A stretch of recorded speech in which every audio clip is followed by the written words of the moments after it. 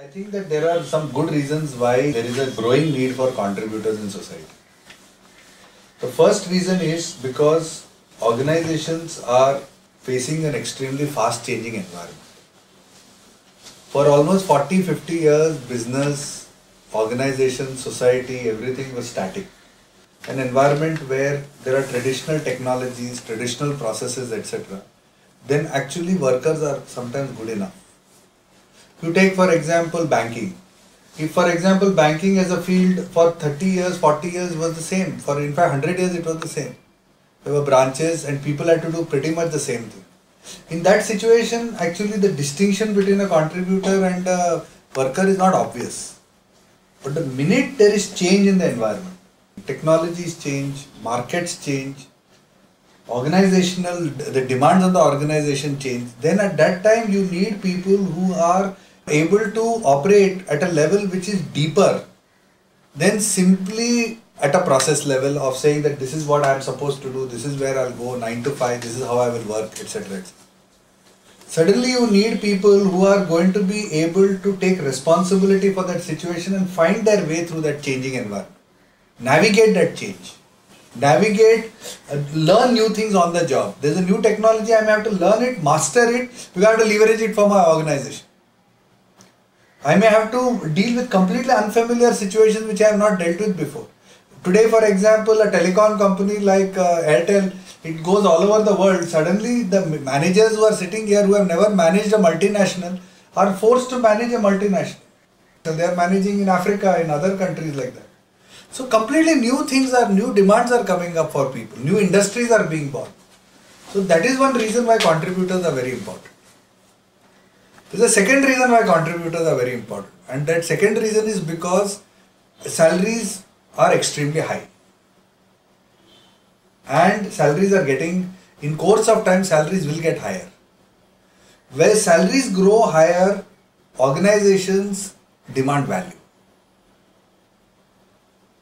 Today, for example, you hear in the you hear in all these um, newspapers and all that from some of these prestige institutions, people are getting absolutely fancy salary.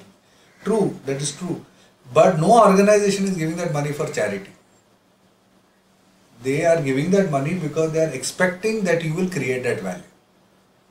If after two years or three years you have that value you don't create, then you will be out of a job.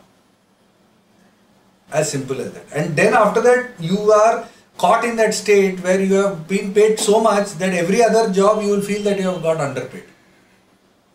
Every other job looks like you are not getting paid as much as you used to get paid because we connect how much we get paid to our self worth, to our estimation of ourselves.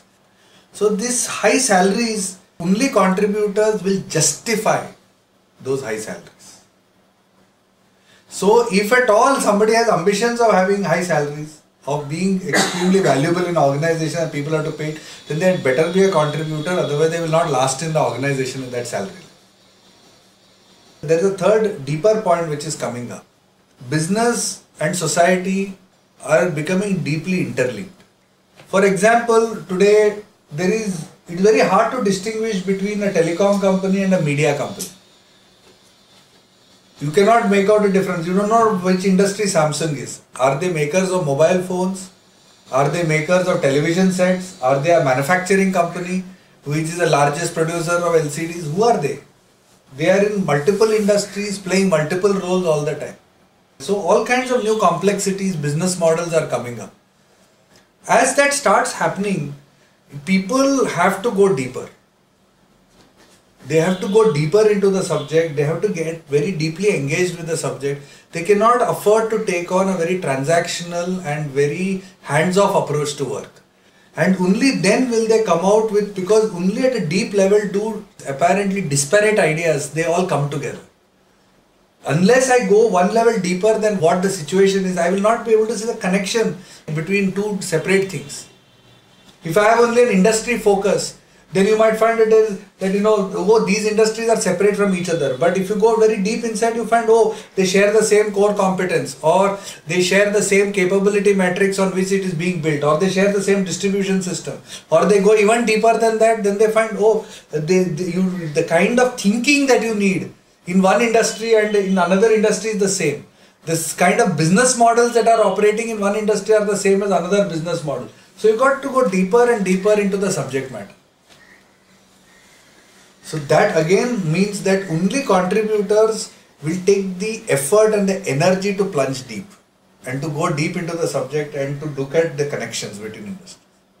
All these reasons together make it imperative that the people who are going to run companies in future are going to be contributors. I may even go so far as to say that we are undergoing a transition. 30 years ago, 20 years ago, we used to want what they used to call the organization man. That is someone who conforms, someone who is actually going to play by the rules of the organization, who's a good corporate citizen somebody who will, who will be a good member of society. And such a person was the role model of success. The right colleges, the right degrees, the right pedigree, then you enter the right organization, climb up in the right way, your life was set, everything was set. We are moving to a world where actually only contributors are going to be running organizations. Because they are the only people who are going to manage and handle this complexity in a completely new way. And today what you see in the world outside you are is a transition. So you see that in some cases you find that some of the old world people are still there who are in certain key positions but you also find in new industries you have a new breed of people who are coming up who are actually talking a completely different language. So that transition is going on. If we want to prepare for the future then we have to think and believe that we have to become contributors today. You cannot afford to have yesterday's formula for tomorrow's success. That is not possible.